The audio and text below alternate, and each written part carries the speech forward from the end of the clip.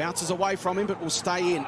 So O'Brien can look up, find an option, and the option is Crocker. Prout, been busy, does well. Puts it into space now for O'Brien to run onto.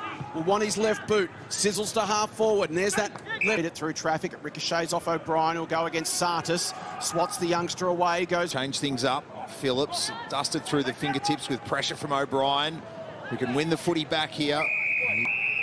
Got themselves back within three points. Prout to O'Brien. Now back in. That's was, the intent part. There, well, there was plenty of oval though, Jace, that he could have he could have kicked it further into the corridor. As soon as it trickled out, I knew the decision was coming. I'm not saying we don't understand it, but at the same time, we don't understand it. Another great kick. O'Brien inside 50. Yeah.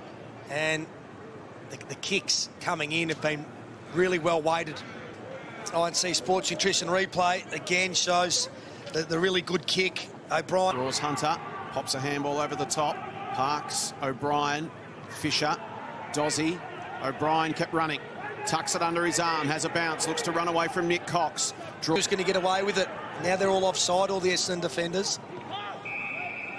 O'Brien casually works his way down. It'd be nice if we're winning a few more games, but um, yeah, I just really relishing that challenge as well, mate. So um, set it into life, that's for sure. We'll let you get back to the coaching duties. Appreciate your time. Cheers, guys.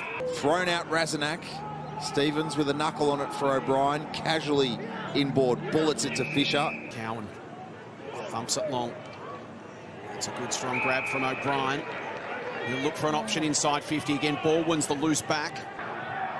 Hands it off to O'Brien. Inboard for Honey, who will get another chance. Boot this to Lygon Street. Yeah. Don't try and steer, steer it through. Just replay and, and just a really smart decision to go back inboard.